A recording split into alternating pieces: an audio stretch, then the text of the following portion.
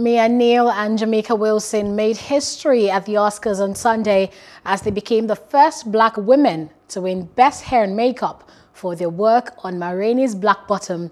Reacting backstage to the monumental win, Neal said she felt everyone benefits from diversity and wants more of it. Sound designer Nicholas Becker said he really tried to explore the physicality of sound in the film which sees a heavy metal drummer's life thrown upside down when he begins to lose his hearing. In the animation categories, Pixar's Soul won Best Animated Feature, while Travon Free and Martin Desmond Roe's shot the live-action science fiction drama about police brutality, and Will McCormack and Michael Govier's animated short about the effects of gun crime also picked up awards. I think that everybody benefits from diversity. Diversity. You know, everyone does. Yes. And so I think that uh, just, and I also think everybody wants it.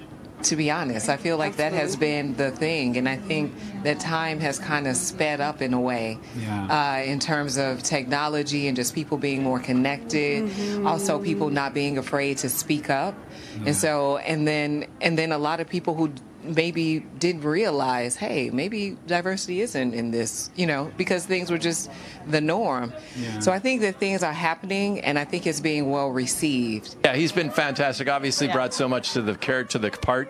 You know, so much of Joe is weirdly okay joe is way more nerdy than jamie. Jamie is much cooler.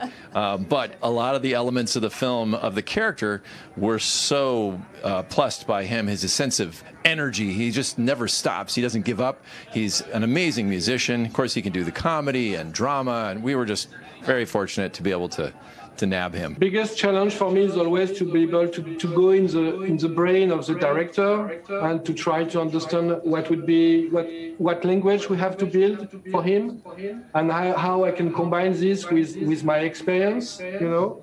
So uh, I think the biggest challenge have, have been also to to try to make the film as a, really like a physical experience for the audience. I, you know, when we started this journey to make this film, we knew, I especially knew it would be a film that would be difficult for people to to watch, difficult for people to you know, politically even engage with. And for it to have done what it's done and for us to be here holding these for a movie as as potent and as as serious uh, as our film is from the Academy, I I think it's it's unbelievable. I think it's it's it's amazing to think that we could be standing here today, holding Oscars for a film about police brutality. I think that's incredible.